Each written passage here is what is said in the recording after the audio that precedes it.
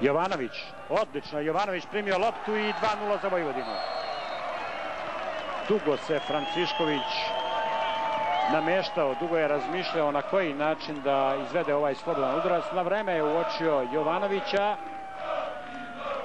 Ovaj u stilu zaista pravog futbalskog znanca prihvatio loptu na 16 metara od gola golmana Kovačevića i pogledajmo još jedan put u stilu pravog špic igrača, pravog centarfora između dvojice milicionarovih igrača. Jovanović je po drugi put savladao Kovačevića. Novosađani dakle u 18. minutu utakmice protiv milicionara vode sa 2-0.